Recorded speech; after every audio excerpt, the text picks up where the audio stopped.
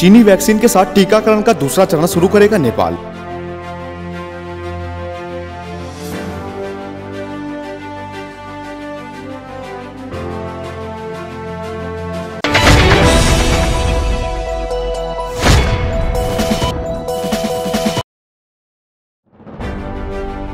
बांग्लादेश में 50 यात्रियों को लेकर जा रही यात्री नौका दूसरी नाव से टकराकर डूबी, पाँच लोगों की मौत।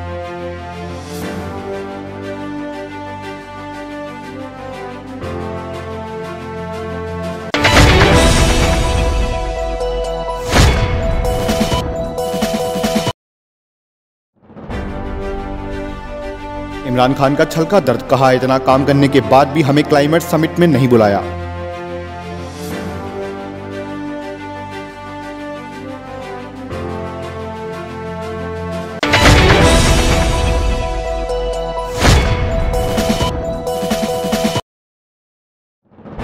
पाकिस्तान में आतंकरोधी अदालत के जज और परिवार के तीन लोगों की हत्या।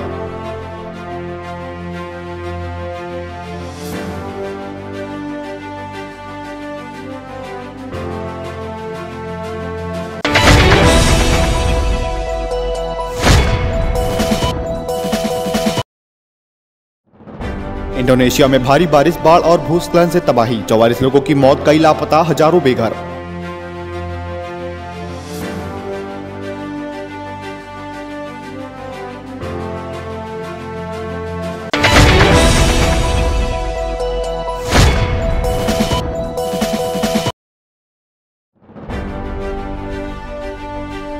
नेपाली कांग्रेस अपने नेतृत्व में सरकार गठन की करेगी पहल। सत्ता के लिए सीपीएन माओवादी सेंटर का लेगी सहयोग।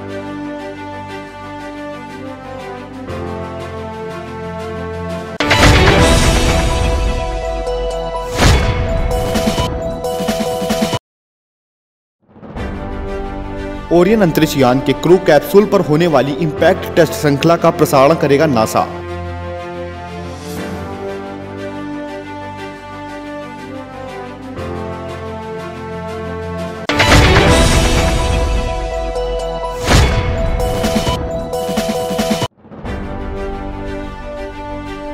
बचपन में ज़्यादा मीठा खाने से जा सकती है याददाश्त चूहों को आई दिक्कत, शोध में हुआ खुलासा।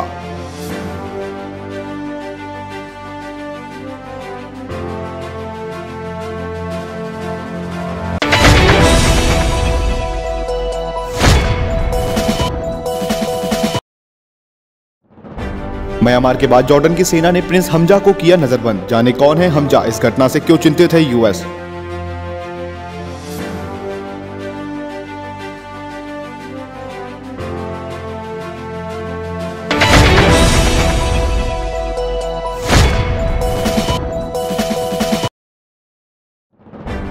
जम्मू कश्मीर खेल के मैदान से फ़ैशन जगत तक अपनी उपस्थिति दर्ज करवा रही है लद्दाखी महिलाएँ।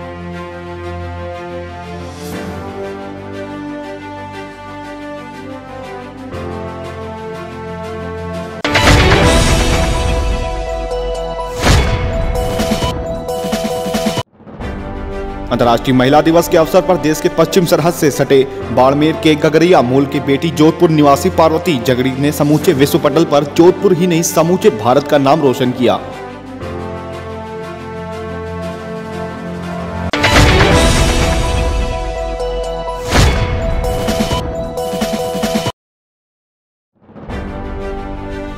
आर्मी के प्रशिक्षित कुत्ते दुनिया को प्रभावित करने वाली इस गंभीर बीमारी को लगा रहे पता।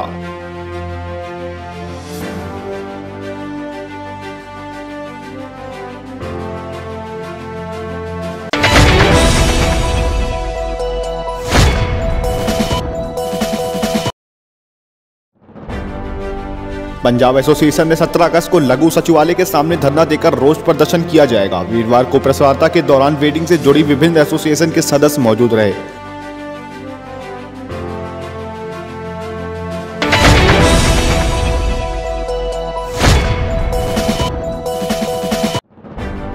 अमित शाह ने नक्सली हमले पर सही सुरक्षा कर्मियों को दी श्रद्धांजलि। सीएम बघेल भी मौजूद।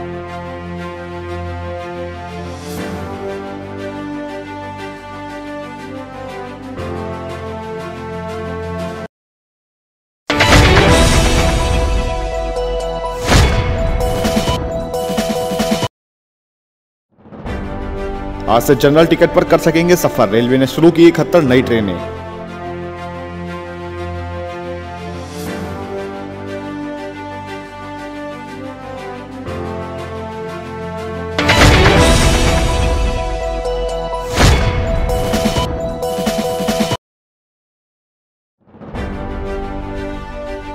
अमिताभ बच्चन की फ़िल्म गुड बॉय के लिए बुक किया गया पूरा स्टूडियो। कोविड 19 के चलते कोई दूसरी फ़िल्म नहीं होगी शूट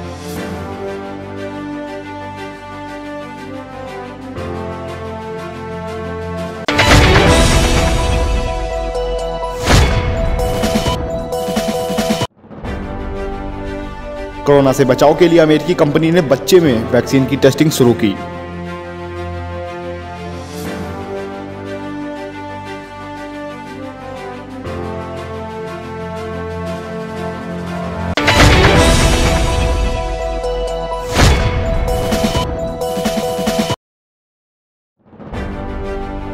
पाकिस्तान के प्रधानमंत्री इमरान ने ईवीएम के इस्तेमाल की पैरवी की। विशेषज्ञों ने किया विरोध।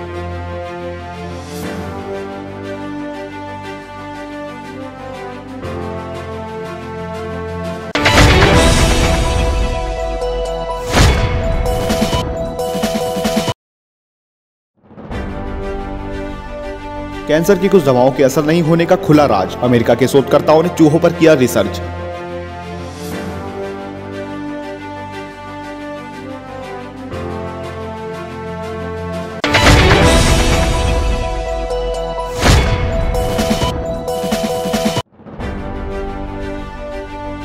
तुर्की में होने वाली बैठक में त्रिस्तरीय शांति प्रस्ताव रखेंगे अशरफ गनी। अमेरिका डाल रहा है दबाव।